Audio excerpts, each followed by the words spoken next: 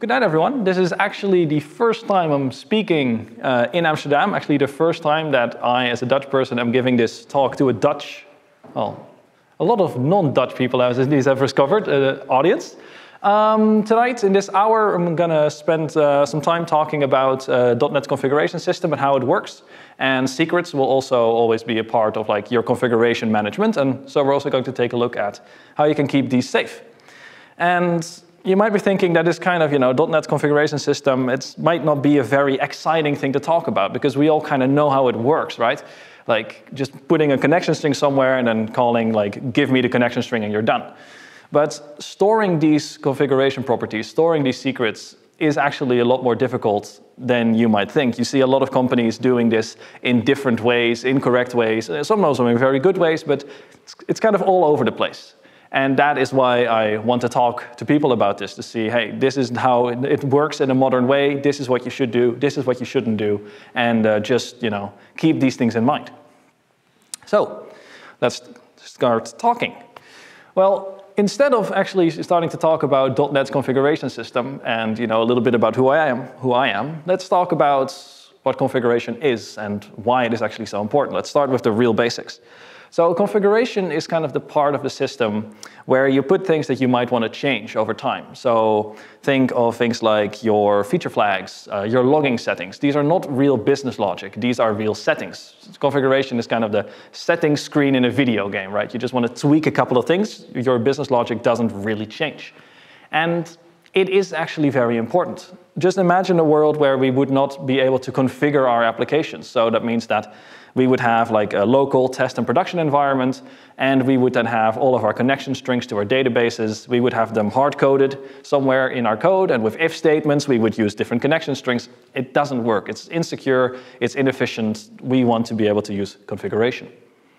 And like I already said, secrets are also a big part of your configuration management and your configuration system. And with secrets, well, I think we've all kind of interacted with them. There are things like your uh, database connection string, there are things like API keys, basically things you don't want to leak. And configuration and secret management have existed together for a very long time. I would maybe even say kind of since the beginning of software engineering as a whole. But recently with like the complexity of our systems and these rising and it's just becoming more and more you know uh, we need to be able to scale up scale down or just our systems become more complex. You see that these things like secret management become a lot more difficult. And yeah as you can see here as well on github in 2019 over 100000 github repos have leaked like api keys or cryptographic keys and this is just happening more and more often. This is not stopping anytime soon.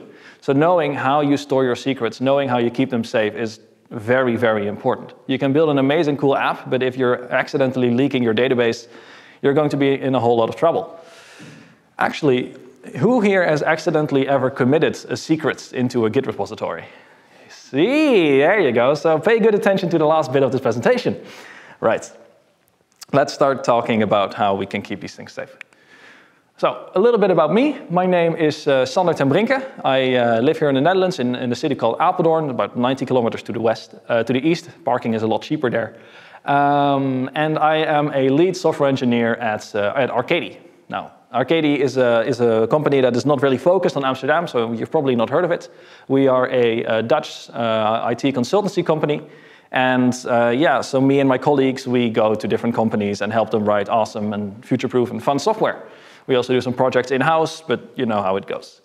Um, I love working with .NET, basically. If you want to summarize me, I love working with .NET. But as you can see here on the slides as well, I really love doing everything, except CSS, honestly. But for the rest, I really love doing everything. And also what I love doing, it's kind of since that I've discovered like two years now, is talking and blogging and sharing knowledge and stuff like that, like what I'm doing right now. And because of that, in the December of 2022, so a few years ago, a few years, a few months ago, I uh, became a Microsoft MVP, which I'm very happy to be able to put on these slides. Right.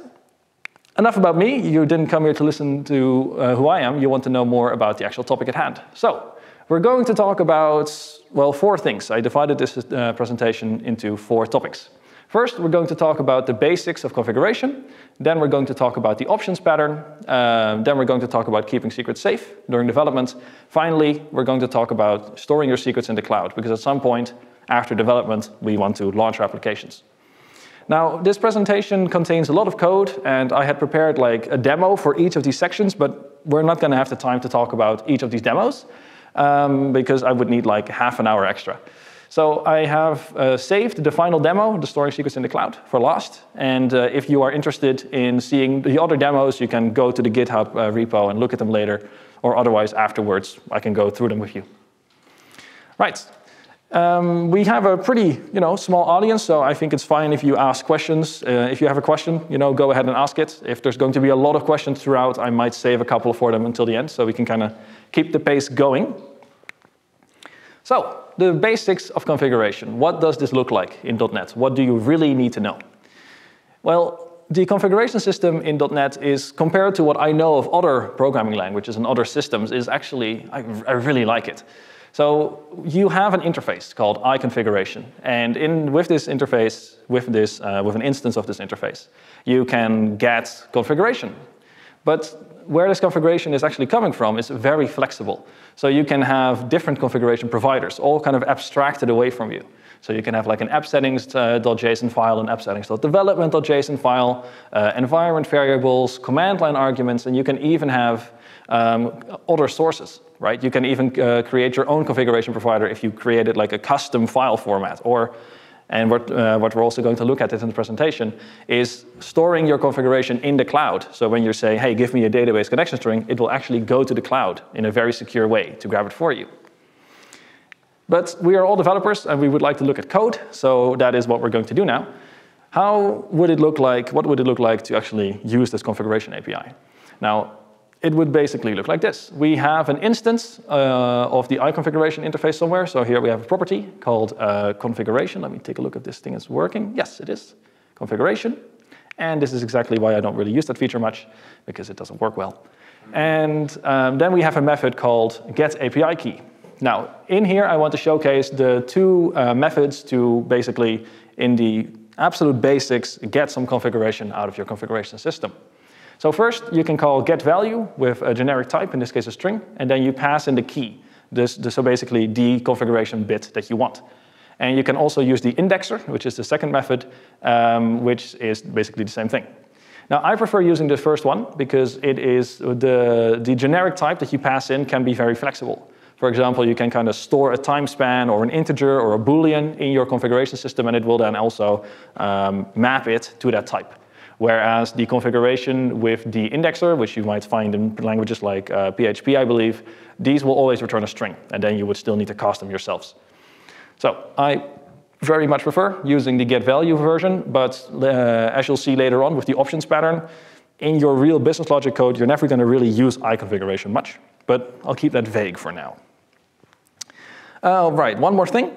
So as you can see here, I talked about the multiple provider bit, app settings, environment variables, etc. We're not saying which one we're using here. We're not telling it grab an API key from the environment variables, grab an API key from the uh, app settings.json. This is actually kind of decided for you because the order of the provider matters. Uh, more in that later. And you might find that very weird to hear. I actually very much like this approach. My business logic code should not be caring much about how my configuration system is set up. It should not be hardly coupled to this. I should just be able to say somewhere, give me some configuration, and how I set that up at my program startup or something like that, that is what, that is what matters. Try to loosely couple your configuration from your code. Right. Now, a thing that I think .NET has and a lot of other programming system doesn't is that its configuration can be structured. So here we see a, um, an app settings.json file. Who here has not worked with like an ASP.NET Core project? Oh, that's great. Good. Everyone. Um, well, basically, for those that might not really know it, if you create an ASP.NET Core project, for the, for the ones in the chat, if you create an ASP.NET Core project, which is like an, an app where you can like build a web API or a web application, uh, you get a file like this, an app settings.json, in which you store the settings for your app. And this is a JSON file, and JSON has support for objects. And in this case, you can see we have a logging, uh, um, a logging object with a log level object in there. We have an allowed host property. We have a connection strings object with a database property, and we have some feature flags. A pretty default, couple of changes to the normal app settings.json, but pretty default, and you can see what you're trying to do. You're trying to configure your system. And this is, you know, uh, this, this has structure. And even providers like uh, environment variables and command line arguments can also be structured. We'll probably take a look at that later. And wouldn't it be nice if we can actually also, you know, use C Sharp and .NET to access this, access this configuration structure as structured code, as sections? And that is actually possible. So again, from the previous example, we can have an iConfiguration instance somewhere in our code. And then we have two methods here, get feature section and get enable new UI. And I want to showcase two different, well, things that are related to the structure. So we can also grab an iConfiguration section, which is basically a section of your configuration. Provides the same APIs as iConfiguration, for example, get value and stuff like that, or the indexer. But now we can, for example, say get section, and then we call in features, and then as you can see from the previous slide, it will grab the features section. You can also call get required section, and then this will actually throw an error, it will throw an exception, when that section can't be found. This is if I ever use configuration section, again, I never really do because I use the options pattern. Um, I use a get required section because I think it makes a lot more sense that it throws an error if your section doesn't exist. Where a get section, for example, it will simply return an empty object if your section can't be found, which makes no sense to me because your configuration system is very static. You set it up somewhere at your application startup, and that's it. You never really change it at runtime. You don't change your configuration system when like an HTTP request comes in. So if a section doesn't exist, there's probably something wrong and you want to get an error.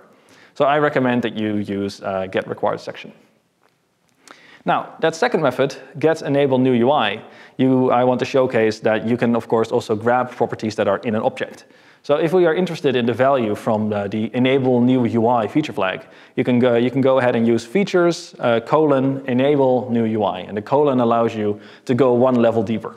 So if we would have like four levels, we would be able to use the um, features colon enable new UI colon colon blah blah blah. Right. So how does this actually work? How, does, how is this configuration system set up? So what you can do in .NET is you can create a configuration builder, and then you add some configuration providers to it, you build the builder, and you end up with your iConfiguration root. Now, an iConfiguration root is a little bit different than an iConfiguration, where the iConfiguration root um, also has a list of all of the providers that are in your configuration provider system. Well, you're never going to really use iConfiguration root much, but you know, I thought you should know. And these providers, they are actually, like I said already, the order is very important. So here we have uh, a great image from the uh, Andrew Lock. He creates great content on .NET. And here he has created an image for me, and then also for you, where he demonstrates how this order works. So for example, let's say that we have a shared settings.json, which contains lots and lots of kind of defaults. Maybe we should call it app settings.json or whatever. Next up, we ha already have app settings.json, so that it won't work. And then we have environment variables. Now, if you look at this from the top down, you can see that uh, environment variables provide the same value for a key uh, as appsettings.json. So this means that if you were to say, let's say it's a configuration bit called API key. And if you were to say, hey, configuration system get value API key, it would actually grab them from the environment variables because that one is the last one in the list, so it is the most important one. It has the highest priority. If the environment variables wouldn't uh, have a value for the API key, it would take a look in your app settings.json, and then it would look in your uh, shared settings.json. So the order is extremely important. Now, if you want to see a little bit of code, you can create a configuration builder. You can call some extension methods on it, like add environment variables, uh, add JSON file. There's lots of options on these methods. And then you can call builder.build and end up with your configuration. And then you might be thinking, oh, that's very interesting, but there's a bit of a problem. Because I work with .NET applications, I work with this configuration system, but you might have never actually created a configuration builder before. So how does this actually work? How can we work with configuration without manually doing this? Well, that's because .NET is a very sensible you know, system to work with. And if you use like an ASP.NET Core project, or you use the generic host, or you use the web application class that was kind of introduced in .NET 5, you call things like create default builder or create builder. It will actually set up a default um, configuration system for you. And we're going to talk about what that system looks like now. So first off, what you get when you create uh, like an ASP.NET Core project or use the generic host, it will add the app settings.json file as a provider, the first, first one. So in here you can put some app settings. Next up, you have the app settings.environment.json. Now that is not a literal value.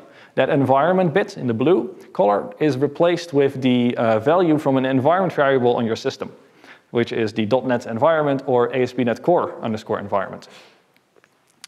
And this is actually very, very useful because um, has, does everyone here know what the app settings.development.json file is? Who doesn't know? Let me put it like that. Okay. Okay, well, that's fine. We'll go through it. So when you create an ASP.NET Core project, you get an app settings.json and an app settings.development.json. And this is actually very useful because if you were to take a look in the uh, properties folder and then in the launch settings.json file, you'll actually see that for the running process, it will set the ASP.NET Core environment uh, variable. It will set that to the value development. And now what you can do, for example, is say that, um, let's say we build a feature flag, use the new checkout page. And in the app settings.json, we set this value uh, to false because the feature is not done yet. And in app settings.development.json, we set it to true because we're currently developing it. And because the app settings.development.json has a higher priority, it means that it will grab that value during development. But if we were to uh, deploy our code to production, where this environment variable is set to production, the app settings.development.json file is ignored. So then the feature flag will be disabled. And this way you can be extremely flexible and you know, do a lot of things with your configuration system. Next up are user secrets. Now, we're not going to really talk a lot about these because um, this is, I dedicated kind of an entire section to, these, uh, to the user secrets uh, bit. But these will only be enabled during development. And these should be used to store secrets on your machine when you are uh, develop, developing your code. Next up are environment variables. Now, environment variables are, does anyone here not know what the environment variables are? Good, we have a very well-educated audience here tonight. So environment variables you can also use to um, store your configuration. You don't really do this normally during development, but you can see a lot in the Docker and Kubernetes world that environment variables are used because they're pretty flexible. And uh, some examples are like the, the path and the path environment variable or the time zone environment variable on Linux, if you want to jog your memory. Finally, there are the command line arguments. Now, the command line arguments, they are pretty well known if you ever run a terminal program. For example, .NET run, and then you can pass in a configuration bit called key, and you can set it to important value. Now, in your code, you could say get value key, and it would then return important value, because this is the last highest priority um, configuration, uh, so the highest um, priority yeah, provider for this given key. So those are the defaults. And knowing this, is good because that means that you at least know how the basics of .NET configuration system work. But there are a couple downsides, especially when it comes to like using it in a structured way. And we're going to talk about those now and take a look at how the options pattern will actually fix this. So let's say that we want to bind multiple values to an object. We have some object in our app settings.json file or somewhere else in one of other providers called external API settings. And it has an API URL, it has an API key, and it has a timeout in milliseconds. And now, wouldn't it be nice to create a class, right? External API settings with the same properties. Because this would allow us to, for example, put some methods uh, on this class to kind of manipulate the data or do some cool things with it, or we can at least pass a concrete type around in our code to give it to an external API client instead of like having to go and grab each configuration bit and kind of you know assemble it together into a tuple or stuff like this actually using classes for configuration is very nice, also for like compile time safety. So how would you do that with the, with the classic approach that I just explained to you? Well, we could have an external API client class. And it would have, uh, in its constructor, it would accept an iConfiguration uh, instance so it can uh, access configuration. And then we would store that in a private field somewhere. And then we have a method called call external API, which calls an external API has two, now we have two ways to go to our configuration system and take a look at these properties that we just set, the API key, API URL, time out of milliseconds, and then map them to uh, a concrete type. So we can say configuration get section. I should have actually used get required section here.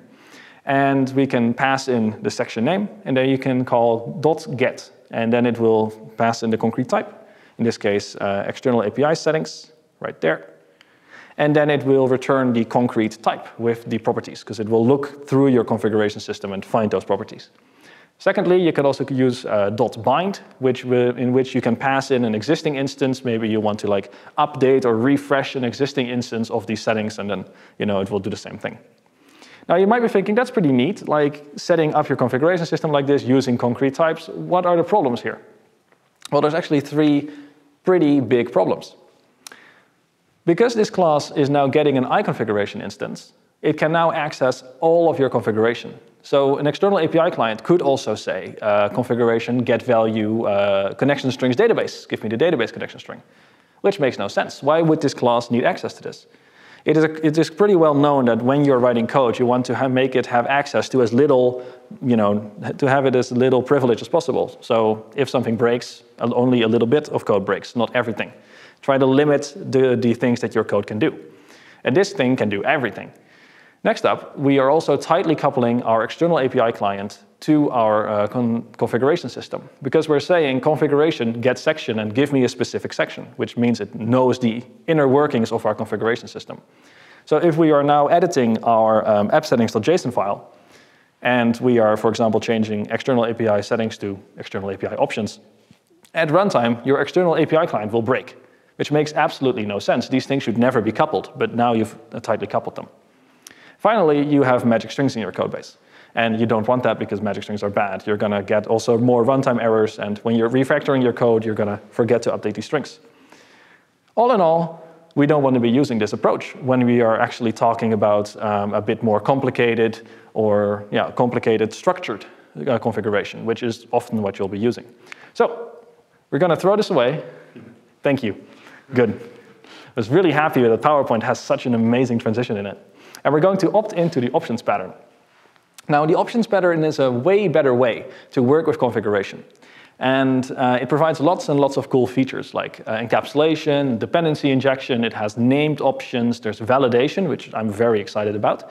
Uh, you can support like reloads on chains. If you change your configuration at runtime, you can kind of you know update your application with this. And there's also things like post configuration. And we're going to talk about uh, a couple of these that are the most exciting. So the options pattern is very well suited uh, to be used with dependency injection. Now, there's some people don't really like dependency injection, and for those, there's also good news because it is not tightly coupled. You can also create options with like multiple different ways. You don't need to tightly couple it to dependency injection or to an actual configuration system. I might talk more about that later. So in your application startup uh, setup somewhere, so perhaps in your startup.cs, or if you're being very modern in your program.cs, you can call services.configure, and then you pass in the concrete type, in this case, external API settings, and then you pass in the configuration. Now this will, when you at some point call the, uh, the options in your code, which I'll already show you to you, when you are now creating, like with dependency injection or some other way, an instance of this class, it will look in your dependency injection container and see if it already set up your, uh, your options for you, the options with the external API settings. And when you call dot value on it, then it will take a look. Like, have I already searched for this configuration before? And if not, I will do so. And then it will be like, ah, the uh, external API settings contain an uh, API URL, it contains an API key, and a timeout in milliseconds. And then it will look in your configuration, find those properties, and automatically map them and put them in your dependency injection container. Where the, with the previous example, we had to do that ourselves. And now we can simply say, uh, external API settings is options.value. And now in your, in your call external API method, you just have an immediate concrete type. This is very powerful because now we don't have the entire iConfiguration instance anymore. We only have a little bit of data that we need. We only have the external API settings, which, you know, this is better. Next up, we don't um, have a we don't have tight coupling anymore to your configuration system. But because before we were saying like get a specific section, and here we're just accepting an I options, and you can create options in different ways. You can like create options thanks to the result of an API call. You can call options.create to set up options manually. It is not tightly coupled to configuration. And finally, you don't have any uh, magic strings. So another thing uh, that you might want to take away from this presentation is take a look if you're in your code base somewhere are kind of using configuration in a very manual way. Like take a look, can, you, can I convert like a, uh, like a couple of properties into an object and use the options pattern for this? Because it will make your code a lot more readable and a lot less tightly coupled. Now, this was the one, this is the feature that I am mostly, uh, that I'm like the most excited about. We all know, right, that when like a user sends us an HTTP request to our server, we always at some point validate their input. We don't let the user do whatever they want. If the user is submitting a form, we check is the form like is the form length uh, not too long and not too short. Is the user submitting a list? Oh, it must contain at least two items, but not more than five. We really want to limit what a user can do. But I've seen lots of applications that don't validate their configuration. Because wouldn't it suck to have like your test environment and then the intern accidentally changes the connection string to the production database? And then you're testing if like, what would happen if I deleted the entire database? And then you delete your production database. Stuff like this can happen. It's like a pretty easy mistake technically to make. So you want to validate your options. And this is actually very easy with the options pattern. So kind of refactoring our external API settings class we can have an API URL, an API key, and a timeout in milliseconds. And now we can put some um, data attributes on them. These are very common in the uh, ASP.NET Core world. So there are basically some attributes in C Sharp, and they will basically, uh, when you validate this class, it will take a look, like is the API URL, API URL, is this, uh, is this property null or is it just white space? If so, it will be invalid. Same for the API key. And a timeout in milliseconds, it needs to have an integer value between 1 and 100,000 to be considered valid. And using this, setting this up with the, um, with the options pattern is actually very simple. Again, we can call services somewhere in your application setup, and you can call the add options instead of configure. And add options will return you uh, the options builder. And the options builder allows you to do very, very, very cool things. So now instead of actually passing in a concrete type of configuration, we can call bind configuration and just pass in the string. And now we can say validate data annotations. And you're done. Like now when you are trying to inject an I options into a class somewhere, it will, before it will actually do that, it will take a look like, is it actually valid uh, according to the rules that I set up? And, but most importantly, this is actually something I found out when I was making this presentation and I immediately re refactored all of my code, is the existence of validate on start. Because I found out that the options pattern is uh, a lazy and also a singleton. And the lazy part is the most important thing to take away here. The, when you inject iOptions into a class and call dot .value for the first time, only at that point will it actually go to your configuration system and set things up. Meaning that I don't know, you deploy your application, it sits idle for half an hour, and then the first HTTP request comes in, and it will activate a class that wants options. Only at that point will it you know, grab the configuration and perhaps throw an exception if it's invalid, which to me is very weird behavior. I want to validate my options, I want to validate my configuration, the second my application starts. Because if it's invalid, I just want my application to crash, I want to be informed, I want to fix my mistakes. So validate on start makes, makes that happen. When you call validate on start, right when your application is started up, when the host is configured, it will go through your options, validate them, and you'll be safe. Definitely recommend using this. And are there any people here that like use, know and like using Fluent Validation? It's a very popular NuGet package. Good. So for those that don't know, Fluent Validation is like a package that allows you to set up like validation rules uh, in a very fluent manner. So you can have like different rules for properties and stuff like that. You can, you can be very flexible. With the um, properties, like the required uh, attributes and stuff like that, it's pretty limited. .NET 8 is adding some very cool uh, new uh, attributes, but it's pretty limited. So you can also on the internet find very easy tutorials to set up like fluent validation with this, or even custom validation if you'd want to do so. So it's very extensible. And I definitely recommend validating all of your configuration. Now, keeping things fresh is also very important because I already said the options pattern is a singleton and lazy. Now, lazy can be considered a virtue, can also be kind of considered a curse. But in this case, when we are considering like reloading our configuration when it changes, it is a curse. Because the first time you call dot .value, it is read. The second time you call dot .value, it will retrieve the cached value somewhere, you know, for better performance. But what if we have an app settings.json file and we, on the, like, without wanting to redeploy our application on a server somewhere, we change a feature flag from like disabled to enabled. And then you can actually have your configuration system understand this, and then the second, the next time you grab that value, that feature flag, it will actually say, hey, now it's enabled.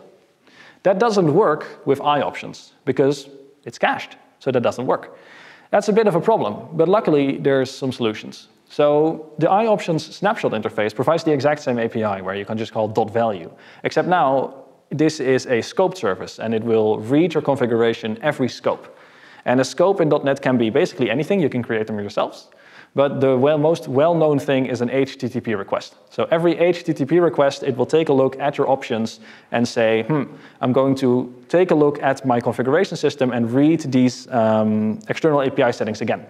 And for the entire external, uh, for the entire HTTP request, these, um, these external API settings will stay the same. And this is exact, then also very useful with web requests.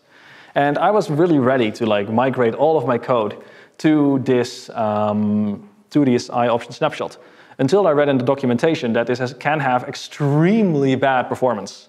So if this sounds very useful to you, if you are a person and you're working for on a project that wants to kind of like read, like change their configuration on the fly without any redeploys, uh, take a look at the documentation if this perform, bad performance might impact you. Finally, there's iOptions Monitor. I've never really used this, but it can be very useful. This is again a singleton, and this reads your configuration in real time. So in an HTTP request, that might actually not be very beneficial. Say that in the beginning of your HTTP request, you read the connection string to the database and it's connecting to database one. And then like eight milliseconds later, someone updates your configuration and now it's talking to database two. So your, your next database call will go to a, a different database. Can cause a lot of synch synchronization issues. So this is mostly useful where in a, in a scenario where scopes don't matter. So for example, with background services. And you can also like subscribe to any changes that might happen in your, in your um, configuration system. I haven't really ever used it, but I think it's very useful to know that this exists. Right. That's it for now on the, um, on the options. Uh, again, please start using these and please start validating them. And now let's start talking about keeping secrets safe during development. Because, again, secrets are things like your connection strings and your API keys. And prevention of leaking these kind of things starts when you're actually developing your app, kind of maybe when you're making the first commit in a repository. Because if you create a commit in your repository and you leak a secret, you can't really undo it. You can delete the commit, um, but yeah, you, can, you can't really do this anymore after you pushed it. You can force push, but then also, let's just not start talking about that. So you don't want to commit your secrets. And let's take a look at how .NET is configured to you know, fix this for us. Well, I want to start talking about this, but first I want to tell you a little story. Does anyone ever, does, has anyone here ever seen this shirt before? Ah, oh, that's a shame. I hope to, to surprise the entire audience. All right, thank you. So, in the Netherlands, if you uh, find like a kind of a cyber security problem, in the, uh, like in, in, a, in, a, in a, system from the Dutch uh, government or something, and you report it, you get a T-shirt that says, "I hacked the Dutch government, and all I got was this T-shirt." Now, I, I, think, I think this is very funny. I think this is very cool that the government does this. Um, but there was someone about a year and a half ago, I believe, um, that got this trophy, which is, of course, a lot better. And let me tell you a story about that. So, is anyone here visit the website tweakers.net often? Okay. Hmm. Do you know um, Schizo Ducky? Do you already know this story? I know the story. All right, good. Well, so in the, there, was this, there was this Dutch citizen that was just looking around uh, at the GitHub profile of an employee of the Dutch tax administration. Very relevant right now because we're do, doing our uh, taxes. That's the Belastingdienst in the Netherlands. And this uh, employee had a, had, had a repo uh, on GitHub with some credentials to their private GitLab account. Now, this citizen found it funny to just take a look at their repos because he just cloned all of his repos and just took a look around. Not to try to hack him or something, I was just curious. And what he found in there was like lots of plain text usernames and passwords and stuff like that to all kinds of government systems. So, including the global Azure administrator account. So, he goes to the Azure portal. He tries to log in. Login successful, but luckily we have a very competent uh, government with very competent IT systems because they had multi-factor authentication enabled. And that employee got a notification, you know, uh, on their phone, like, hey, is this you trying to log in?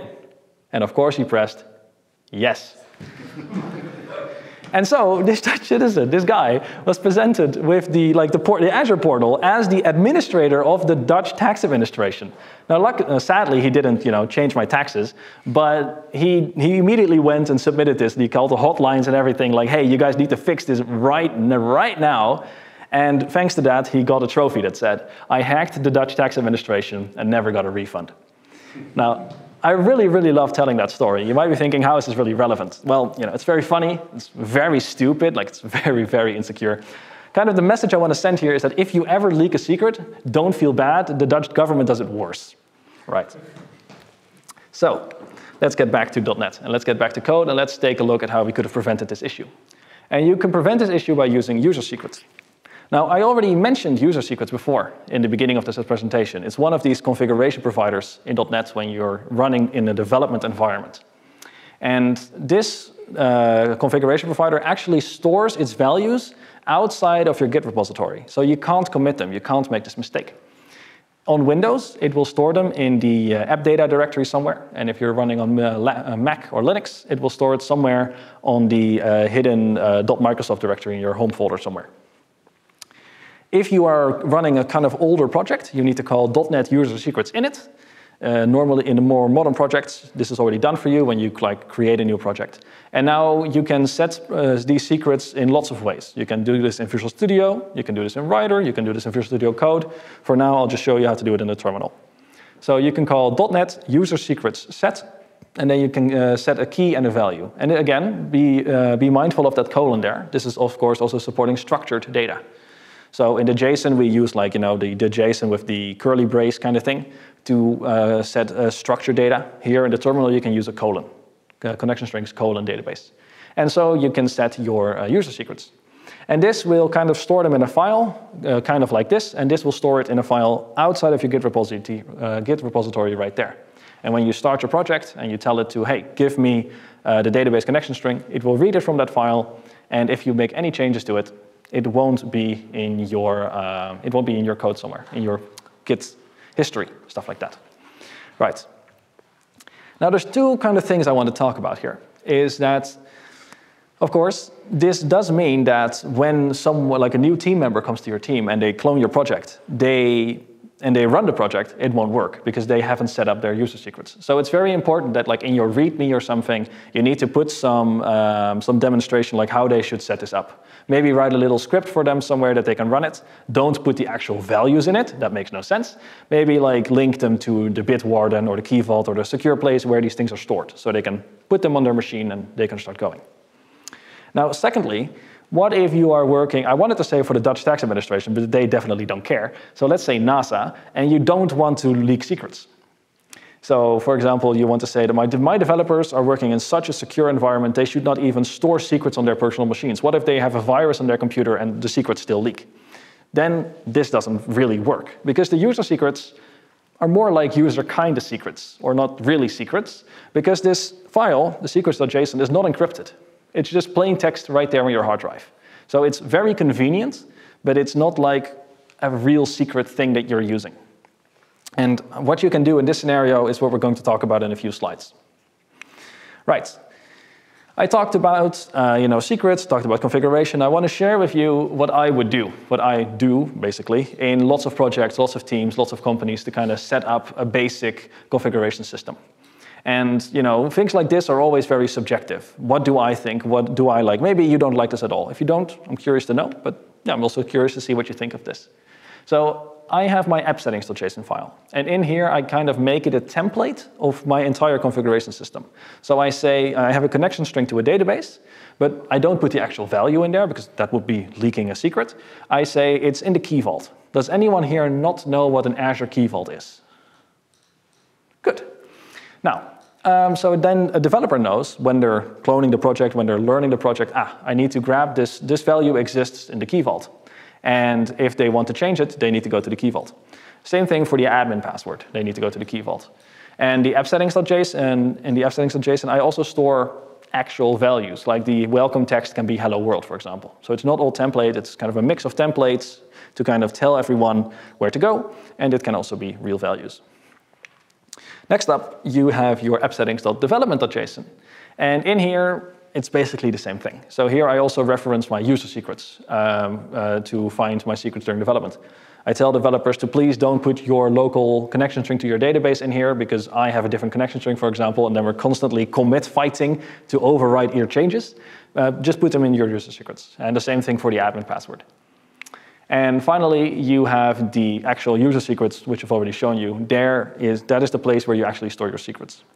And you might be thinking that this is a little bit overkill because it is not that difficult to manage this. But again, .NET's configuration system is pretty flexible. Flexible is the way to put it. You might also say it might be complex. All of these providers, if you are working in a project where like some, uh, some parts of configuration are stored in environment variables, some in command line arguments, some in the cloud, it, it might be all over the place. It might be very difficult to manage these things. And that is why I think like kind of creating a template and telling people where to actually put the values is a very good idea. It really makes it easy to discover your project. A little side note, in the uh, Docker and Kubernetes world, again, the uh, like environment variables are very popular. So you could, of course, also change certain things like welcome text could be like from environment variables or something like that, or from like the Kubernetes file. Do whatever you want, but make it clear for the people where their configuration is stored. Good. let me take a look at the time. Yeah, I'm, I'm doing pretty good on time, actually. Good. So Storing secrets locally is great, but we sadly can't ship our entire machine to the client. That, was, is, that is the thing that Docker was intended for. And um, so we want to store them somewhere for our test and production environment. Now, I'm going to showcase to you how you can do this in the cloud, because I like storing secrets in the cloud, but these kind of principles also uh, kind of work with on-prem environments. But let's talk about the cloud, because the cloud is fun. Um, you could also say, well, why would I need the cloud to store my secrets? Let's talk about this for a bit. Because you could also store them in environment variables. It's safe, it's fine. You see a lot of projects using environment variables, like in a Docker container or something, uh, to store secrets. That's okay. The thing is, how secure do you want to be? If someone would get access to your container and would list the environment variables, your secrets would have been leaked. So is that a problem for you? Maybe, then you might consider environment variables to not be that secure. You could also say, and I see a lot of projects doing this, when they are like in their CI/CD pipeline and when they're releasing their code, their app settings.json file actually contains things like connection strings database is uh, hashtag hashtag database hashtag hashtag, and then they replace that token with the actual connection string, and then they deploy their app settings.json file with the value to the environment. That way you don't have it in your source code, you can store the actual value in a secure place and just grab it and put it in your file when deploying. Also works. Because you might also say that is actually good enough, because if a hacker got access to my like actual server, then you're in a whole lot more trouble. So this might be good enough. It might be. But storing them in the cloud can be a whole lot more convenient. So let's take a look at that. Now we just got an entire presentation about AWS. And uh, I'm going to tell you that this kind of entire thing that we're going to talk about also works in AWS. AWS loves .NET. And you have the AWS Secret Manager. You, does anyone know what the equivalent is in the Google, uh, the Google Cloud Platform? Because I don't. I should, but I don't. Okay, shame. Something with secrets, probably. Um, so the Azure Key Vault you can use uh, to store keys and secrets and certificates and stuff like that. And you might be thinking, well, storing my secrets in the cloud, that's very insecure. I don't really think so. Because the, this entire service is focused on keeping your things safe, whereas in, in your company, storing your secrets is kind of more of a task. It's not your business focus, where this is the entire business focus of this product. They're gonna do it well. You can even pay a little extra and get it like stored on specific hardware, like security hardware. And you can use this, the same thing with AWS and Google and also like the HashiCorp Vault if you wanna self-host something like this. You can use this as a configuration provider, right? We talked about environment variables, app settings, so JSON, or, or other sources. Uh, the Azure Key Vault is one of them. So in this bit of code on the bottom, you can see uh, config.add Azure Key Vault. And then we pass in a, a URL to the Key Vault, and then we pass in a magical default Azure credential. We're going to talk more about that in the next few slides, but just see this as the thing that we are like authenticating and authorizing ourselves to access the Key Vault. And now when you say in your code somewhere, um, configuration get value uh, database connection string or something like this, a connection string database, it will actually go to the key vault in the cloud, authorize yourself, authenticate yourself, and then grab the value and just store it in your memory. which to me is a lot safer. Storing things in memory is technically safer and just a whole lot more convenient than having to set up your release pipeline, having to set up environment variables. This just works at runtime. You don't need to really do a lot of work here. And if you now change anything in your key vault, you don't even need to restart your application. You can just set up caching that, for example, these things are cached for 10 minutes, and without any restarts, 10 minutes later, your application will be updated at runtime. And this also integrates with like lots and lots of uh, other Azure services. Like if you're running like um, like if you're running like Azure Container Apps or uh, Azure App Configuration, Azure App Service, you can like do lots of lots of configuration if this doesn't really suit your needs. Right. Oh, one thing um, that we uh, that I didn't talk about here. We're living all in the Netherlands, right? So money is important to us. This is very cheap.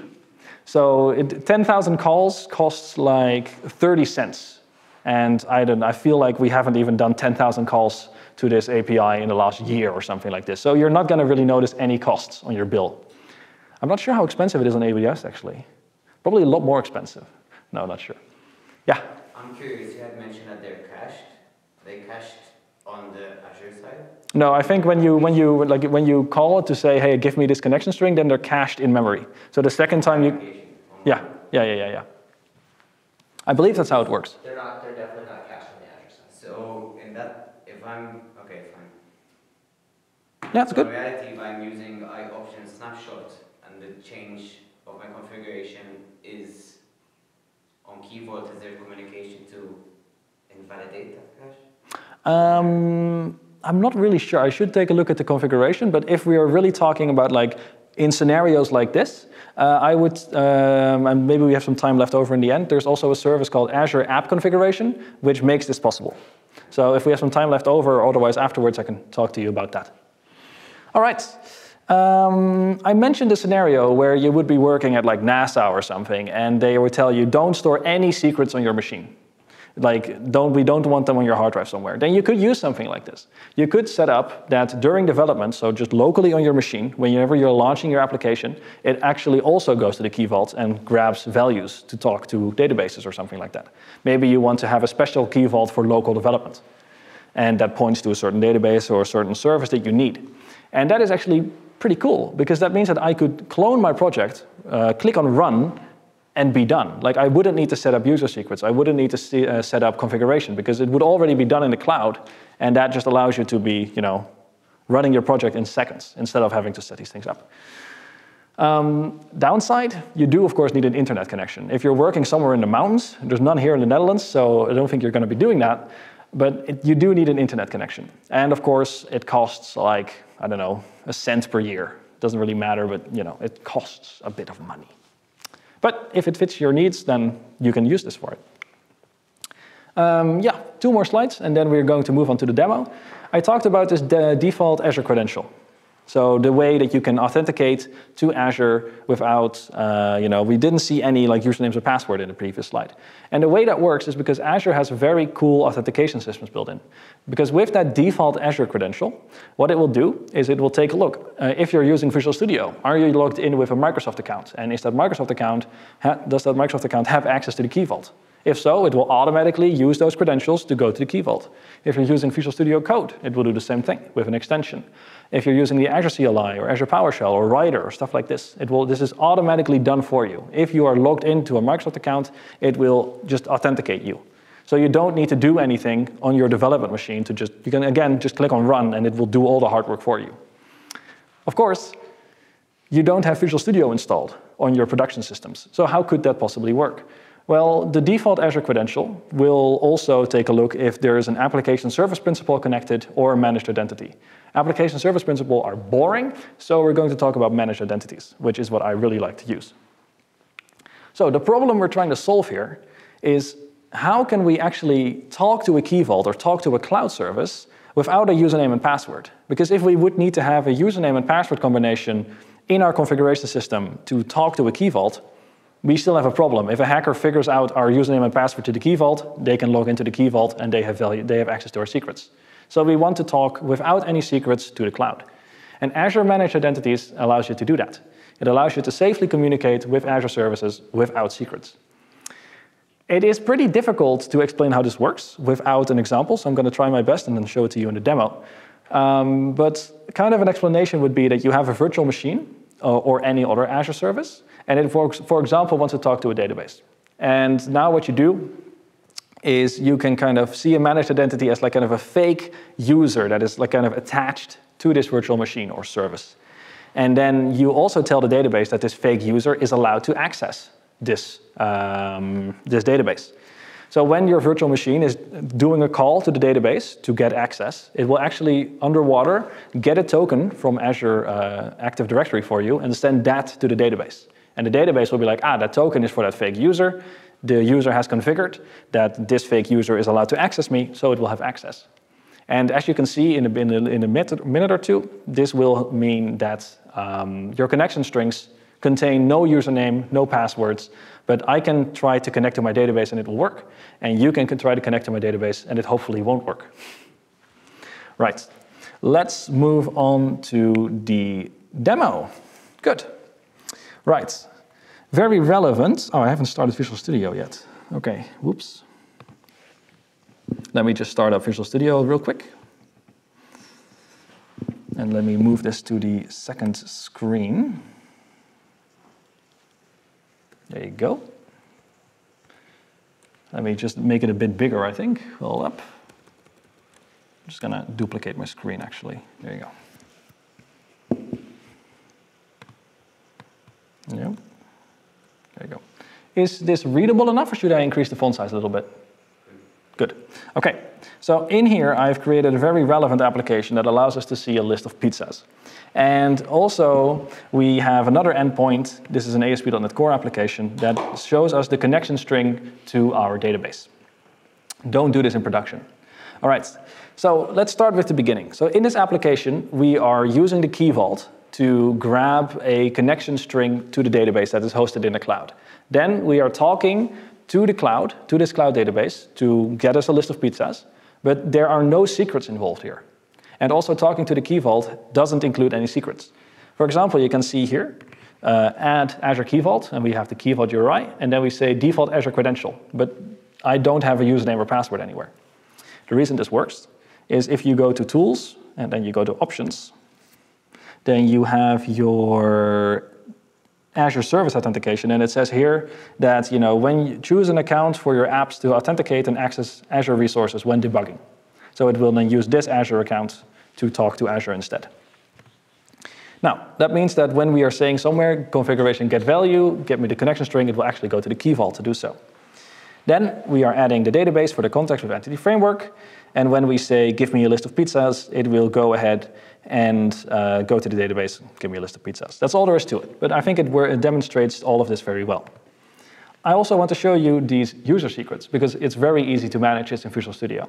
If you right click on a project, and I'm just going to zoom in a little bit. It doesn't work. Great. You have manage user secrets right here. And if you click on this, then you, this is now that uh, file stored in the app data directory. There, I can make edits to this file, and it will not show up in my uh, Git changes. Right, let's, uh, let's take a little look at a list of pizzas. Now, I have, run, I have this running locally on my machine connected to the cloud. And, you know, it's a demo time, so it will definitely break. This is already taking way too long. Please work. It literally worked like an hour ago. Oh, my internet is down. Oh no. Okay, great. Um, let's clear this request. You can quickly, before this times out and shows errors, you can see a list of pizzas, right? So it did work.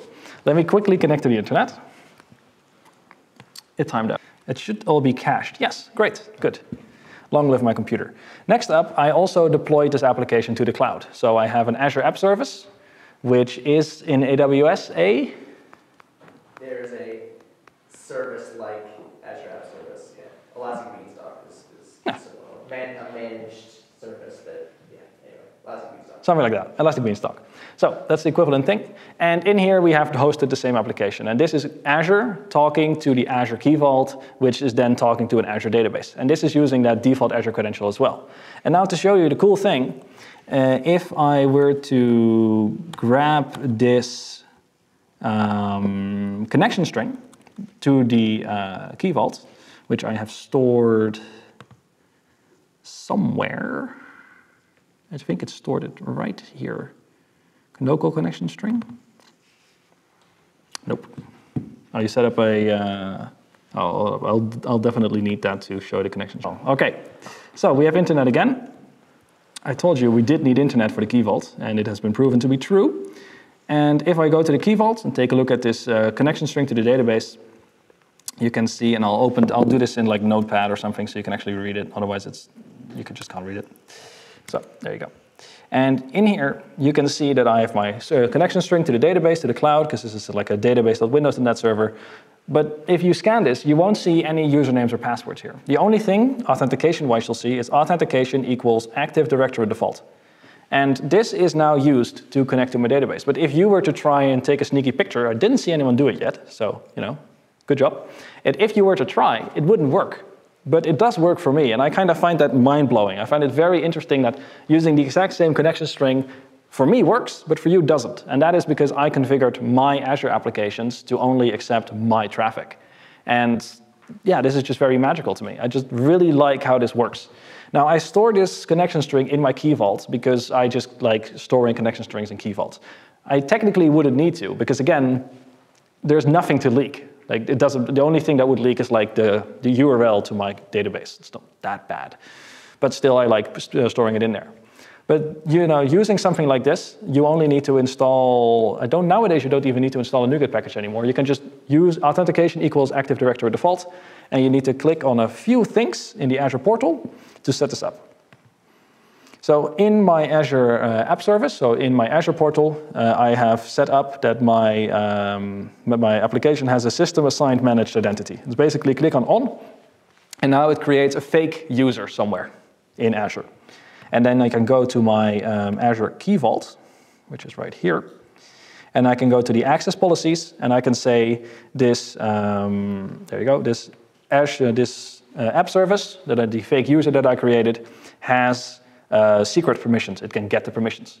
Now, I also need to change something in the access policies and the um, like the role-based access control, but that's not very that important.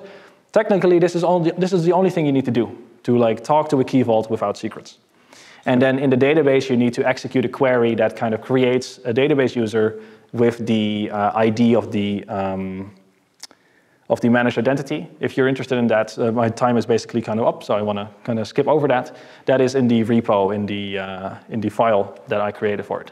If you're interested in like running this demo completely on your own Azure uh, and your Azure, on your own Azure subscription, there's a file uh, in there that publishes this entire project to the cloud for you.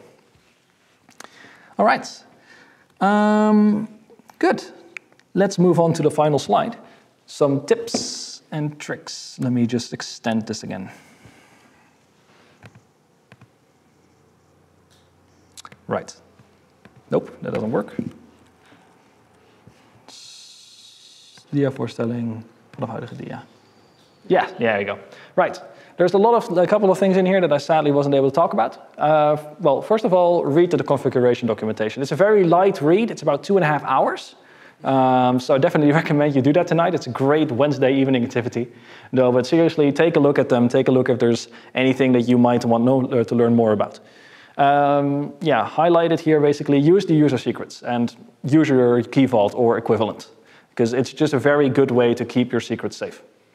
Um, also, if you can, take a look at the uh, secret scanning services like GitLeaks. It's a very awesome feature like from that platform where like you have a commit, you push it, and before it actually accepts that push, it will take a look if you have committed uh, any secrets into your repository.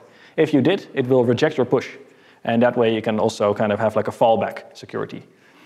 Um, use managed uh, identities for connections to Azure services because that way you don't even have any secrets anymore. So there's, if there's no secrets to leak, that's just good and nice to have. And make it very easy to rotate your secrets. If any secrets do ever leak, rotating means that you can just kind of generate new ones really quickly. So if, if anything ever leaks, if it only takes you five minutes to kind of you know, fix a leak, then you know, you're pretty good, you're pretty safe. Every environment you need new, uh, needs unique secrets. I've seen lots of companies that say, yeah, no, we, you know, security is the biggest principle in our company. It's very good. I say, okay, what's the uh, password to your test environment? Oh, yes, it's welcome one, two, three. Like, yeah. If you're using that exact secret on production, you're not being safe at all. And uh, yeah, use role-based access control, use multi-factor authentication. If you're interested in this demo, you can find it on my GitHub profile, uh, github.com slash sander1095. And with that, I want to um, end this talk. If you want to learn more about me, take a look on these links. My goal is for each talk that I give, I want to kind of write a blog post that covers everything in this topic. I want to start writing that soon. So if you, you know, kind of want a recap, uh, take a look at my website like in a few weeks, and then I'll have that written, and everything I talked about will be featured in that blog post. So thank you for your time. I hope you learned something, and if there's any questions, uh, I'll have to answer them.